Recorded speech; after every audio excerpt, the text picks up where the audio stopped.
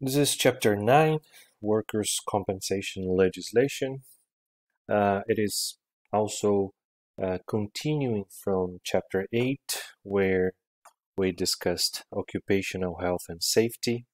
And by the way, uh, both occupational health and safety and workers' compensation they uh, come from the same act, same legislation, uh, which is the Workers' Compensation Act.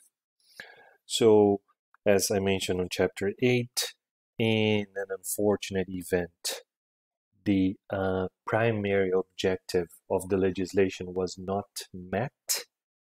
Um, in other words, an accident or injury or illness uh, was prevented, then the employee, the worker, may be entitled to workers' compensation.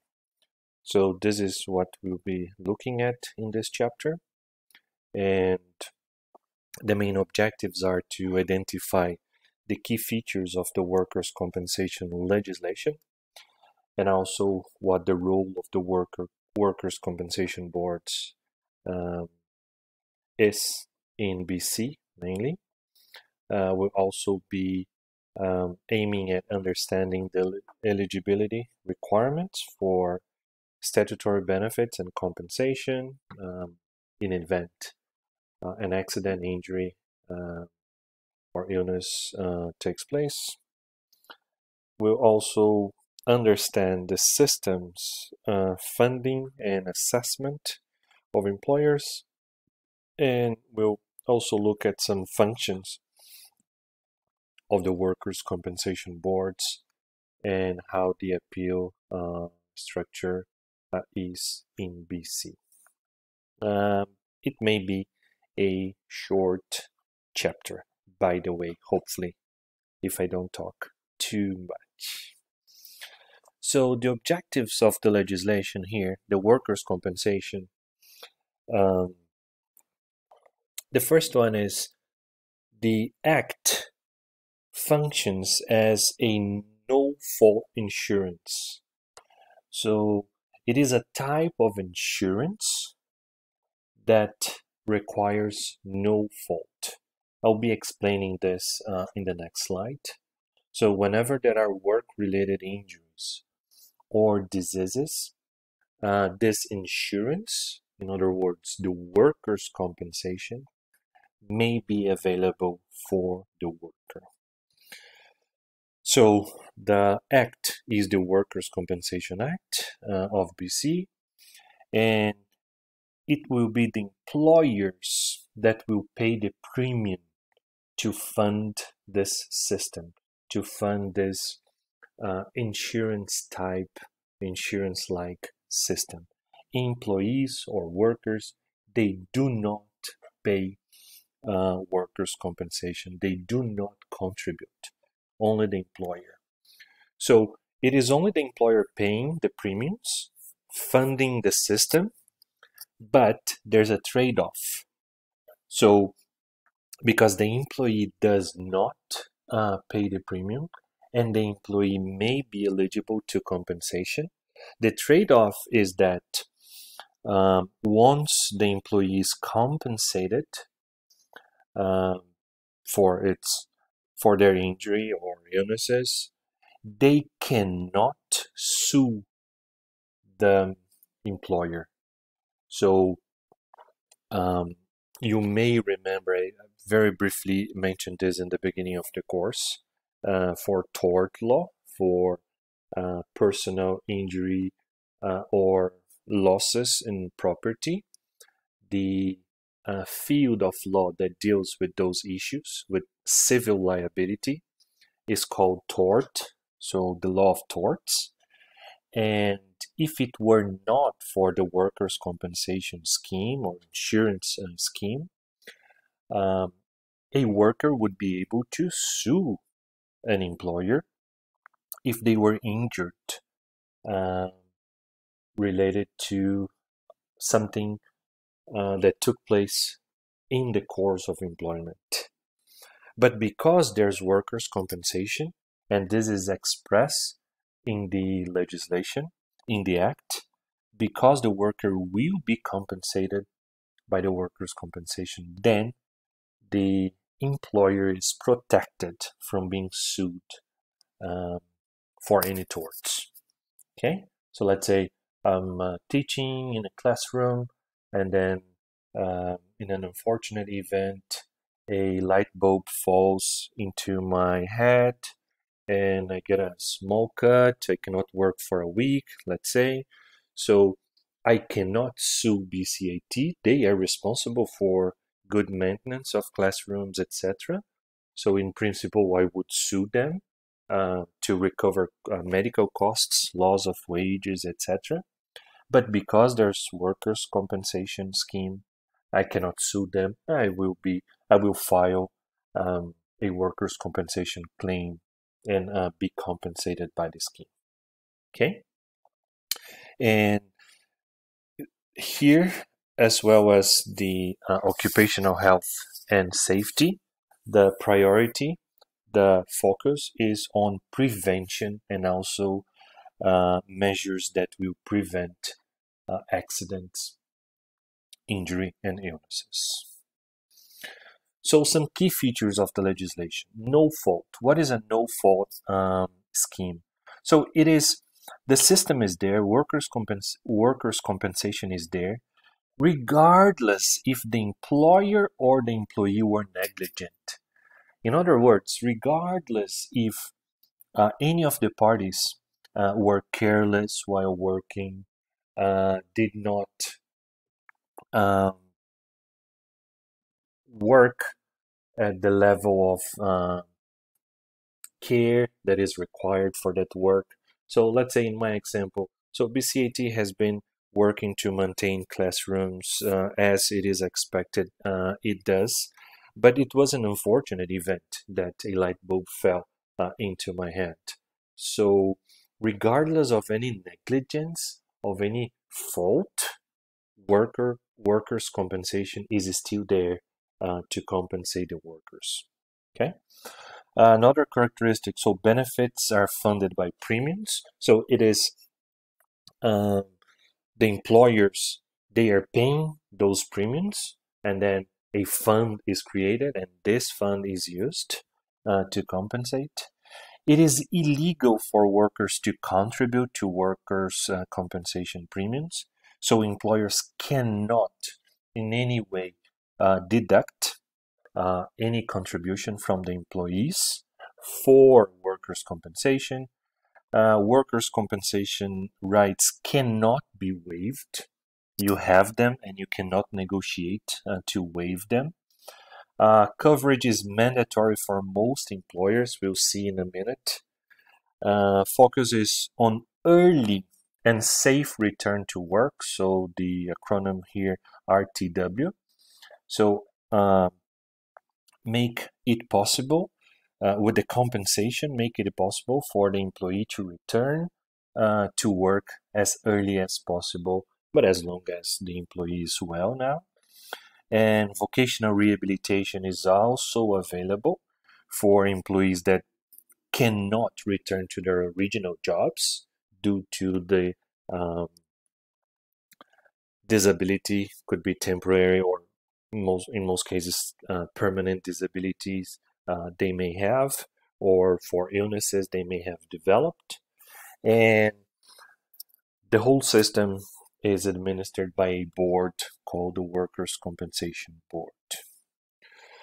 So, with coverage, as I just mentioned here as one of the key features, um, coverage is mandatory for most employers, and it is. Section 4 uh, of the Workers' Compensation Act reads uh, in a way that all employers, in their capacity as employers in BC, um, are bound by the Workers' Compensation Act, and all workers uh, in BC.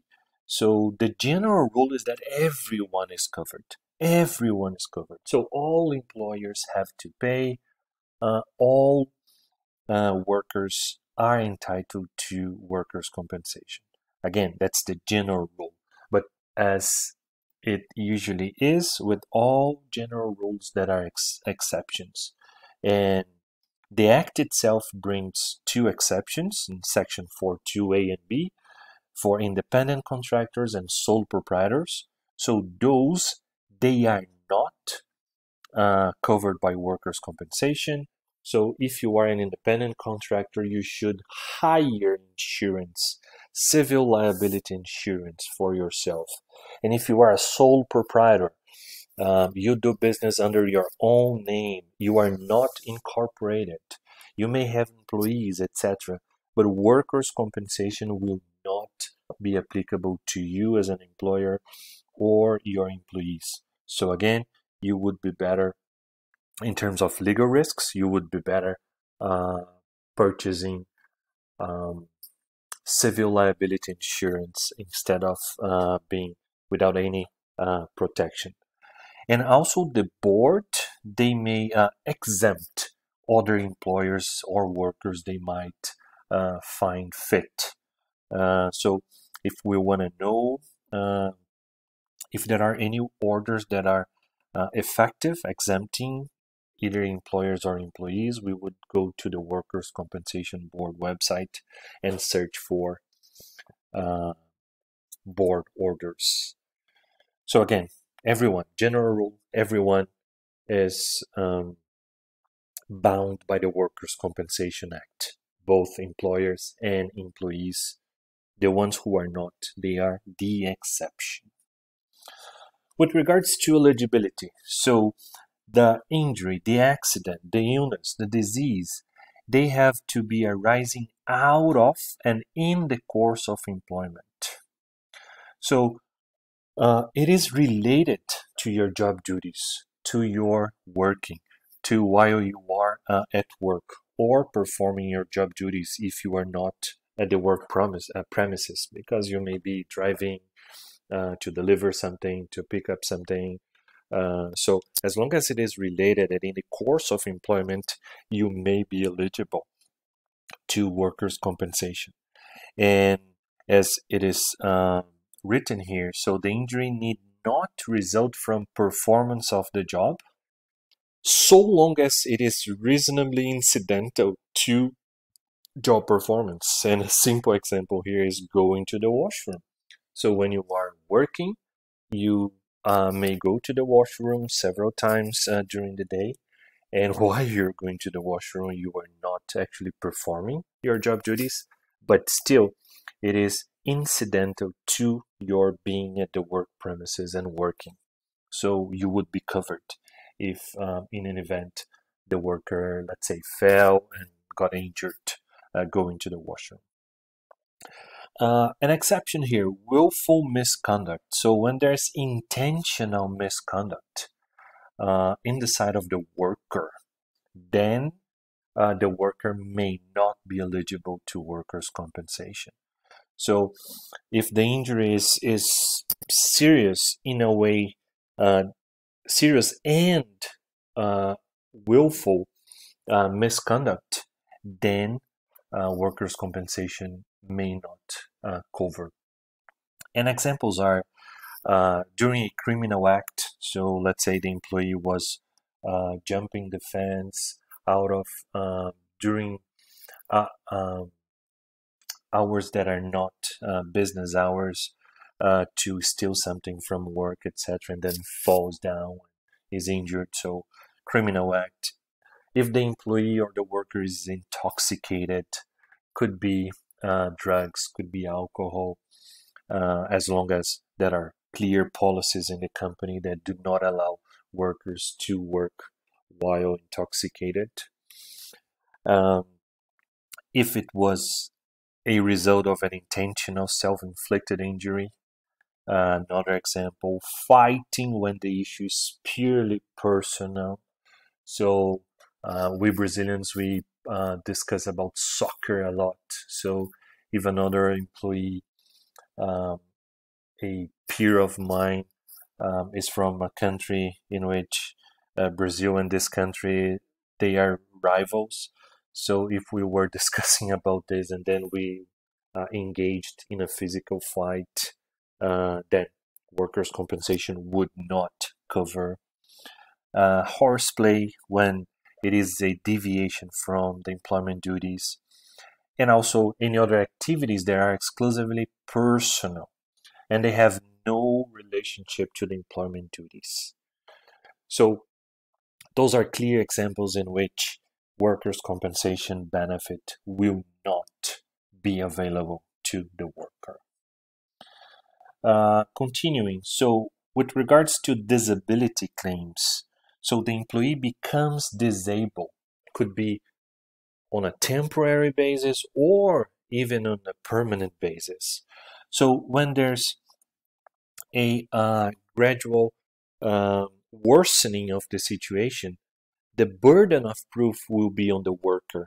So the worker is the one that has uh, to prove that performing th- those job duties uh, worsened their uh, situation or contributed to that injury or to that um, illness or disease. And uh, the same thing would apply for a pre-existing uh, conditions. Uh, but here, the, the important fact is that the worker with a pre-existing condition, so before the worker joined that company, the worker uh, already had a pre-existing condition, uh, let's say some uh, issues with their bones uh, or a fracture that was not well uh, healed.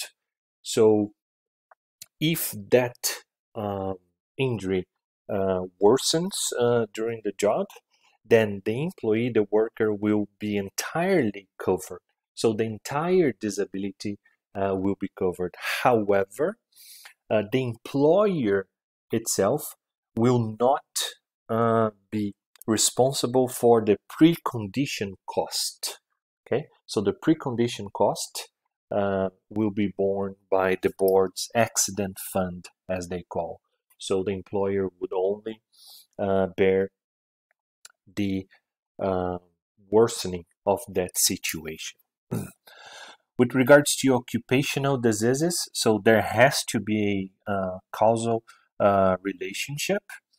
Uh, in other words, a clear connection between the work and the work conditions uh, and the disease.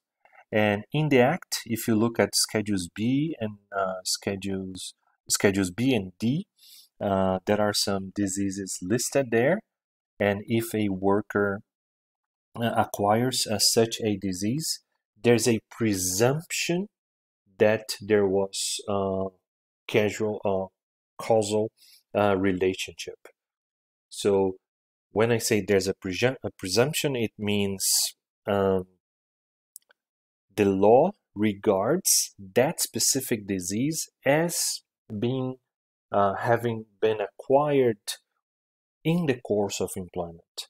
But this is only a presumption. It is not a certainty.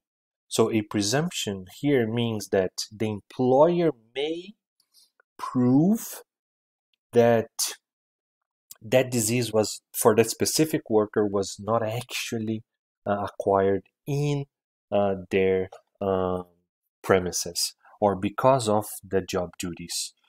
Uh, so the fact that there is a presumption, uh, it means that the employer may bring proof, evidence in contrary. Um, and how do you bring proof? How do you prove like the disability claim or those occupational diseases?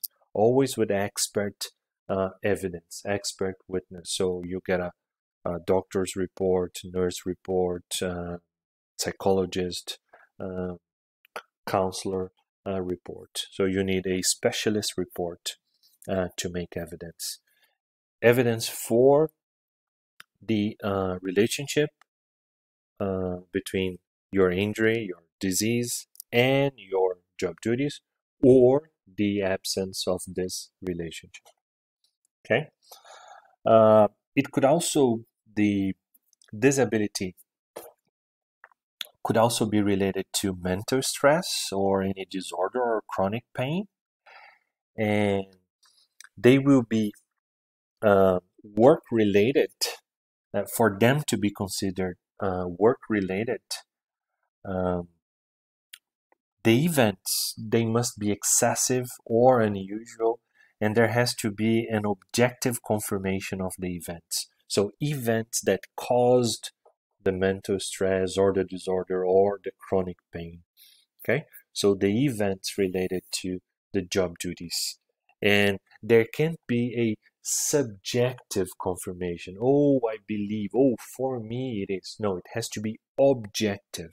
So it's like black and white, objective confirmation of the events that caused uh, the, the mental stress or disorder or chronic pain. Okay, and again, a qualified medical expert is uh, required. A diagnosis here, or a nurse, or uh, who, who whatever prof- uh, professional is related to that situation, and the exception is that you cannot file a workers' compensation claim for mental stress uh, if that mental stress was um, created because of a compensation claim for another injury. So you made a compensation claim for another um, disease or regular uh, injury, and then that was denied. You are appealing this, and you get stressed. You get uh, you develop a mental stress or any other uh, mental disorder. So this um, the event that caused your mental stress or disorder is not eligible for the benefit because they are related uh, to your original or first um, workers' compensation claim, benefit claim. Okay, so that is the exception there. Uh, reiterating that the onus, the burden of proof is on the worker uh, to show this causal uh, relationship with the work, but there are some exceptions, uh, and they are the PTSD for first responders, so post traumatic uh, stress disorders, uh, certain cancers and heart attacks for firefighters. Uh, the Schedule B, I mentioned before, they uh, list some industri- industrial diseases that arise from specific uh, industrial processes. Uh, the example I bring to you is uh, primary lung cancer, where there's a prolonged exposure to the dust of uranium or if a worker contracts a listed disease, uh, there is a presumption that the disease results from employment.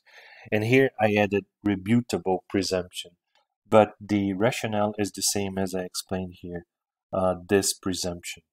So the presumption is rebuttable. Why? Because the employer may make evidence uh, in contrary of the disease uh, being resulted from employment. Uh, in other words, there's a presumption the employee, the worker does not need to make evidence here, but the employer they make make they may make evidence in contrary in case uh, the disease, even though it is one of the listed ones, uh, they are not they were not a result of um, the job duties of that specific worker. Uh, what do the benefits cover? So they will cover lost earnings on the day of the injury. Sorry, lost earnings in general, but the lost the lost earnings on the day of the injury they will be paid by the employer. So that very day the, the worker suffered an accident or the disease made the, the worker impossible to work is still covered by the employer. And then from the next day on, uh, as long as the benefit, uh, the application for the benefit was successful, uh, the workers' compensation uh, will cover. The, then the lost earnings, healthcare costs. Uh, there will be temporary uh, partial disability can be a permanent total disability and could be a temporary total disability. So they are different and they have different definitions because uh, payment uh, differ here. For temporary partial disability, the worker will get 90% of their pre-injury net earnings Whereas when there's a temporary total disability, then there will be periodic payments in the same amount as if the employee had left permanently disabled, which is again 90% of the employee's uh, average uh, earnings. Uh, in case the uh, employee recovers from total disability because they were temporary, then the payments uh, will cease. And the permanent, permanent total disability. So here is a disability, uh, total disability. The employee cannot work anymore, and it is permanent. So a very unfortunate um, situation here. So in this case, uh, also 90% of um, the employee's average uh, net earnings, and they will be pay, uh, payable for life. Okay, but remember, they are related to uh, injuries, diseases uh, that are work related. Uh, for permanent partial disability or disfigurement, um, so here is permanent, permanent but not permanent total. This is now permanent partial disability or disfigurement. So the employee will get also 90% of their estimated loss uh, of average earnings uh, that result from that impairment. And because it is permanent even though it is partial, but it's permanent, then it will also be payable for life. Uh, in case the employee needs training for different job duties, then uh, the workers' compensation will cover vocational rehabilitation. Uh, and so retraining will be paid uh, by the, the workers' compensation board. Um, the employer is relieved from this uh, burden. Uh, death and survivor survivor uh, benefits. So a spouse who survives a worker who died uh, may be entitled to a lump sum payment. So effective January this year, 2021, this lump uh, sum payment amounts to a little bit less than three thousand dollars, and there's also more money um, on the top of this lump sum um, payment related uh, on factors such as the net average earnings of the deceased, the number of dependent children, uh, the dependent entitlement to Canada Pension Plan, and whether the spouse in, is incapacitated or not. Okay? Right, so let's look at an example uh, here. So I'm calling it case study. So Robert uh, works at a at an auto mechanic uh, called Otto's uh, Body Shop. He has worked there for four years. Net uh, earnings one thousand per week. So while starting his eight-hour shift, uh, Robert, the worker, tore a ligament in the thumb of his right hand. The same ligament he uh, damaged several years earlier worker, uh, working for a previous employer.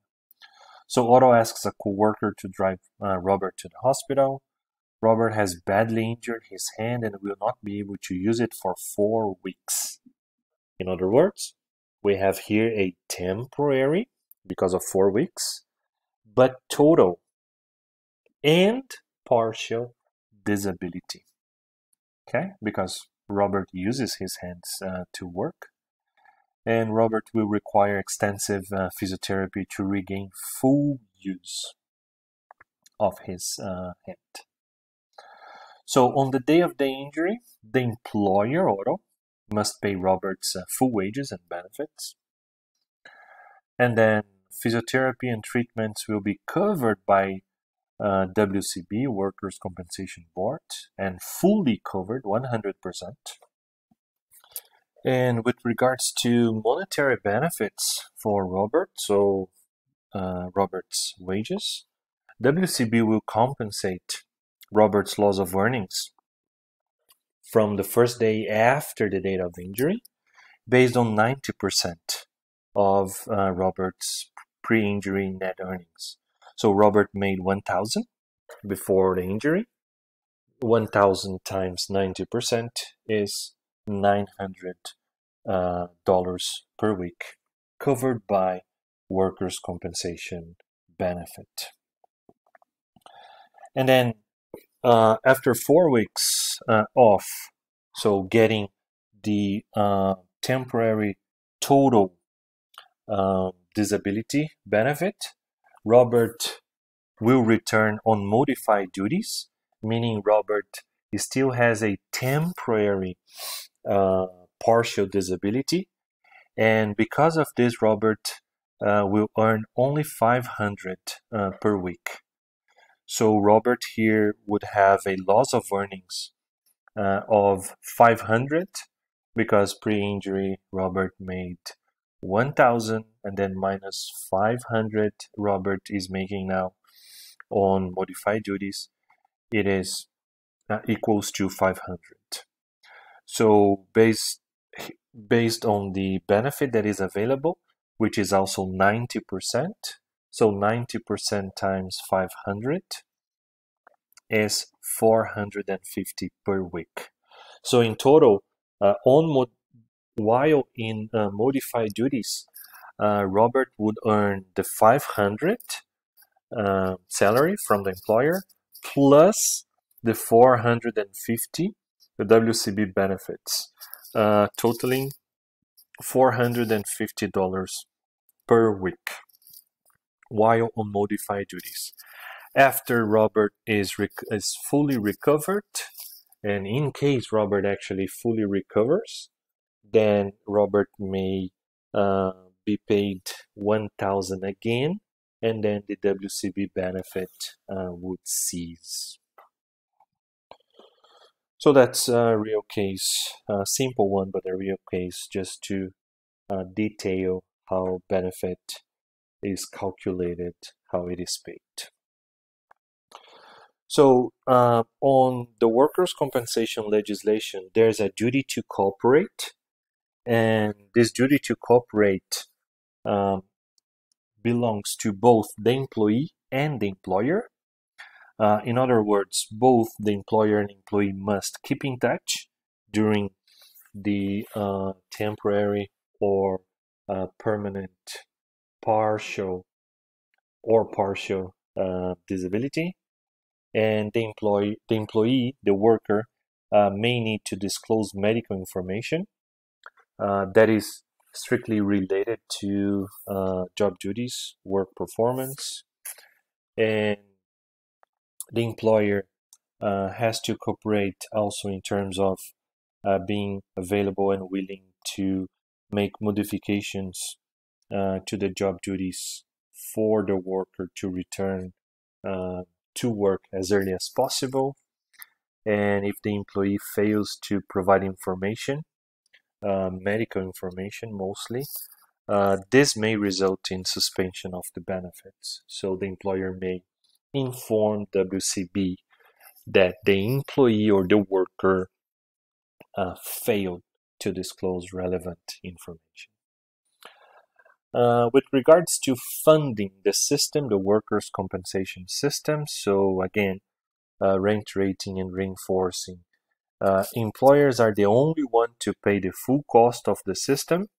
They pay uh, by means of uh, premiums, by paying premiums, such as uh, an insurance for car, ICBC insurance, so we pay premiums. again, illegal from an employer to recover uh, partial or total uh, premium from workers. Employers need to be registered with WCB. They are also required to provide information uh, to WCB in a way that WCB uh, can classify their activity, uh, uh, hence their risk for accidents.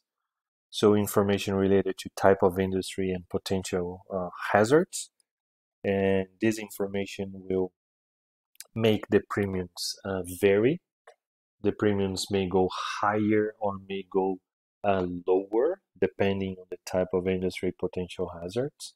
Uh, let's just take a simple example here construction. Uh, depending on the type of construction, the uh, incidence of accidents, injuries, uh, they may be unfortunately high, so premiums for construction companies may also be high.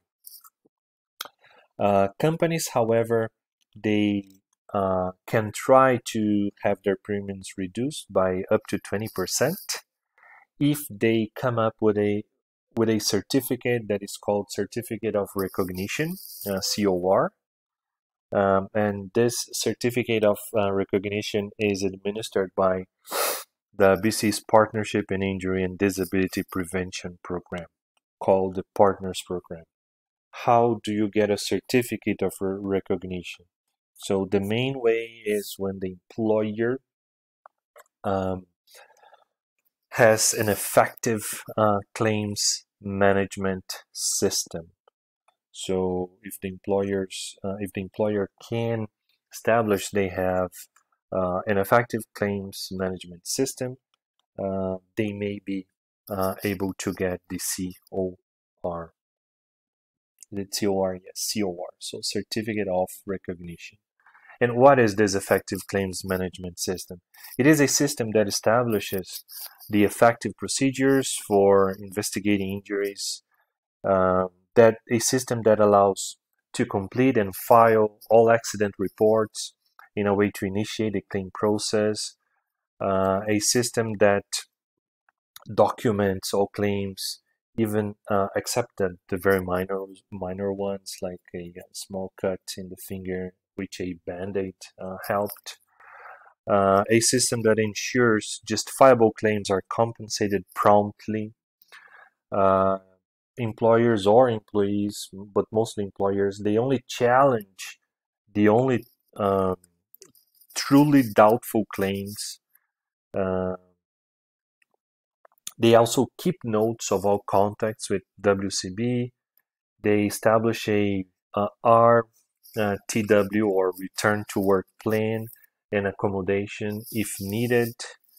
They do not contact the employee's physician directly unless the employees uh, gives them written and express consent. So this is a privacy uh, issue here, very important. And the system also ensures confidentiality of uh, me medical files. So those medical files do not need to be uh, kept along with other uh, personal uh, files. So that are financial information on the employees. Uh, why mix them with uh, medical files of employees? Okay. So by having an effective claims management system, uh, employers may be able to get a certificate of recognition, which uh, may reduce their premiums by up to 20%. The last uh, topic here is related to appeals. So the worker, the injured worker, or a dependent, or uh, a spouse or dependents of the deceased uh, worker, or even the employer, uh, they may appeal a decision in case they disagree. Uh, the time limit in BC is 90 days. So once the workers' compensation board makes a decision to either pay the benefit or not pay the benefit, uh, whatever party who disagrees, they may uh, request a review, and this review will go to the WCA tribunal, so the Workers' um, Compensation Administrative Tribunal. And the tribunal is independent from the board, they will either confirm, uphold the decision of the board, or they will uh, modify the decision. And after the tribunal's decision, there's still judicial review possible, so it is available, but that is not very common. It's actually very rare because I told you before uh, during the course, uh, courts they differ to tribunal's decision, administrative tribunal's decision, uh, quite highly. The requirements for a court to review and change the merits of an administrative tribunal, uh, they are quite uh, and very strict.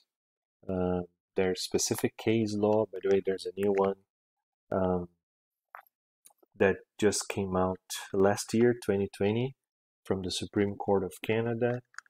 And so the judges, the courts, they need, uh, they will only be able to review administrative tribunal decisions in case the requirements of case law uh, are, are met. Okay. All right, so that's uh, what I wanted to share with you about workers' compensation legislation. So we discussed about occupational health and safety in chapter 8 and now uh, workers' compensation in chapter 9. Thank you.